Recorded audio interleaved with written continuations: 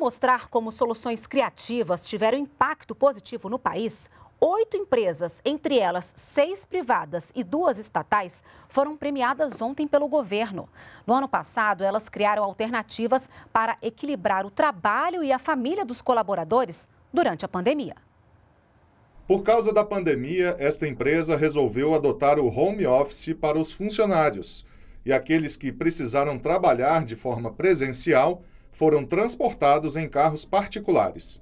Tudo para evitar o risco de contaminação pela Covid-19. Outra iniciativa foi dar um benefício para o colaborador com um bônus natalino, cesta básica para aqueles que estavam em contrato suspenso e também isentar o plano de saúde odontológico que é descontado deles da folha de pagamento. Esta instituição está entre as oito empresas de pequeno, médio e grande portes que tiveram suas iniciativas reconhecidas na primeira edição do Prêmio Melhores Práticas em Equilíbrio Trabalho-Família do Ministério da Mulher, Família e Direitos Humanos. As empresas públicas Serviço Federal de Processamento de Dados, o SERPRO, e a Itaipu Binacional também foram reconhecidas pelas práticas durante a pandemia.